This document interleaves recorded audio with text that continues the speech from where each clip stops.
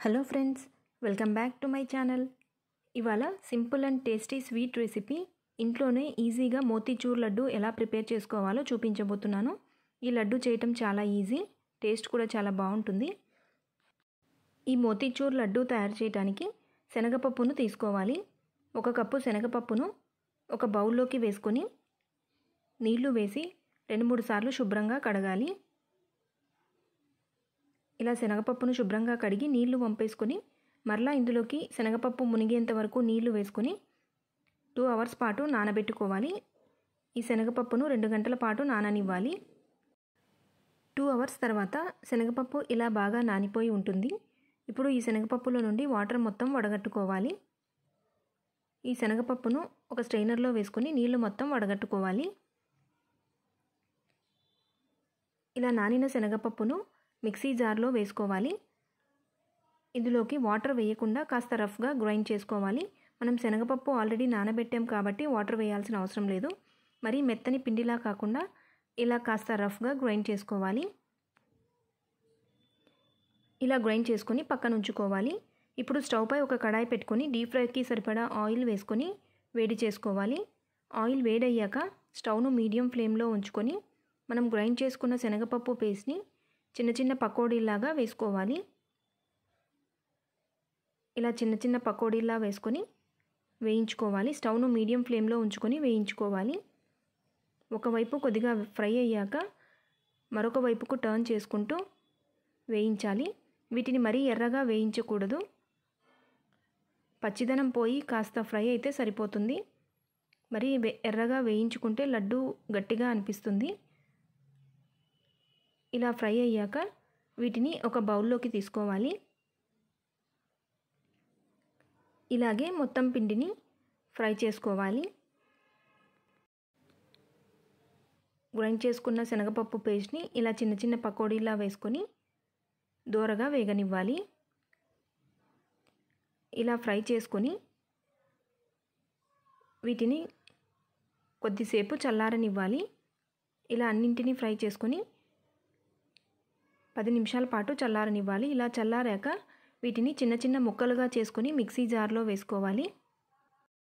ఇలా చిన్న ముక్కలుగా కట్ చేసుకొని మిక్సీ జార్లో వేసుకొని కాస్త రఫ్గా గ్రైండ్ చేసుకోవాలి.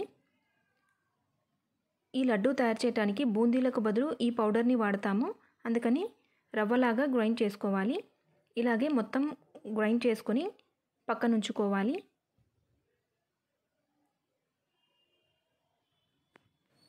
ఇప్పుడు స్టవ్ పై కడాయి పెట్టుకొని అందులోకి ఒక టీ స్పూన్ నెయ్యి వేసుకోవాలి.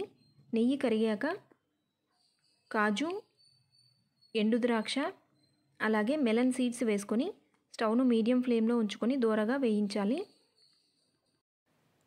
ఇలా డ్రై ఫ్రూట్స్ దూరగా వేగాక వీటిని పక్కకు తీసుకోవాలి. ఇప్పుడు అదే కడాయిలోకి ఒక కప్పు షుగర్ వేసుకోవాలి. మనం ఎంతైతే శనగపప్పు తీసుకున్నామో దానికి ఈక్వల్ క్వాంటిటీలో షుగర్ని కూడా వేసుకోవాలి. అలాగే హాఫ్ కప్పు నీళ్ళు వేసుకొని చక్కెర మొత్తం పూర్తిగా కరిగించుకోవాలి. ఈ లడ్డూ కోసం ఎలాంటి పాకం రానవసరం లేదు. చక్కెర పూర్తిగా కరిగిపోయాక త్రీ మినిట్స్ పాటు ఉడికించుకుంటే సరిపోతుంది. ఇలా చెక్ చేసి చూస్తే స్టిక్కీగా ఉండాలి. జిగటలాగా ఉండాలి. ఇలా ఉంటే సరిపోతుంది. ఇప్పుడు ఇందులోకి ఒక టీ స్పూన్ ఇలాచీ పౌడర్ ఒక టీ స్పూన్ నెయ్యి అలాగే ఆరెంజ్ ఫుడ్ కలర్ని వేసుకోవాలి. ఇది పూర్తిగా ఆప్షనల్. మీరు వద్దనుకుంటే స్కిప్ చేయొచ్చు కానీ మోతీచూర్ లడ్డు అనగానే ఆరెంజ్ కలర్లో ఉంటుంది కదా. అందుకని కొద్దిగా ఫుడ్ కలర్ని వేసుకొని మొత్తం బాగా మిక్స్ చేసుకొని మనం ముందుగా వేయించి గ్రైండ్ చేసుకున్న శనగపప్పు పౌడర్ని మొత్తం వేసుకొని మొత్తం బాగా మిక్స్ చేసుకోవాలి. స్టవ్ను సిమ్లో ఉంచుకొని ఇలా కలుపుకుంటూ ఉడికించాలి. ఈ పాకం మొత్తం పూర్తిగా పీల్చుకొని దగ్గరగా అయ్యేంత వరకు ఉడికించుకోవాలి. ఇలా కాస్త దగ్గర పడ్డాక ఇందులోకి ముందుగా వేయించి పెట్టుకున్న డ్రై ఫ్రూట్స్ని కూడా వేసుకొని కలుపుకోవాలి. స్టవ్ను సిమ్లో ఉంచుకొని ఇలా కలుపుకుంటూ ఉండాలి. ఇలా దగ్గరగా అయ్యాక స్టవ్ ఆఫ్ చేసుకొని మూత పెట్టి పదిహేను నిమిషాల పాటు చల్లారనివ్వాలి. ఫిఫ్టీన్ మినిట్స్ తర్వాత కాస్త గోరువెచ్చగా ఉన్నప్పుడు చేతికి నెయ్యిని అప్లై చేసుకొని మనకు నచ్చిన సైజులో లడ్డూల్లాగా చేసుకోవటమే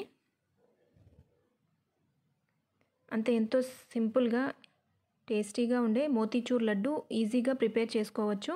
ఇలాగే మిగతా లడ్డూలను కూడా చేసుకోవాలి. ఈ మోతీచూర్ లడ్డు చాలా టేస్టీగా ఉంటుంది. ఒకసారి మీరు కూడా ఇలా ట్రై చేసి మీకు ఎలా కుదిరిందో కామెంట్ సెక్షన్లో చెప్పండి. చూడండి కట్ చేసి చూపిస్తాను. లోపల జ్యూసీగా చాలా టేస్టీగా ఉంటాయి.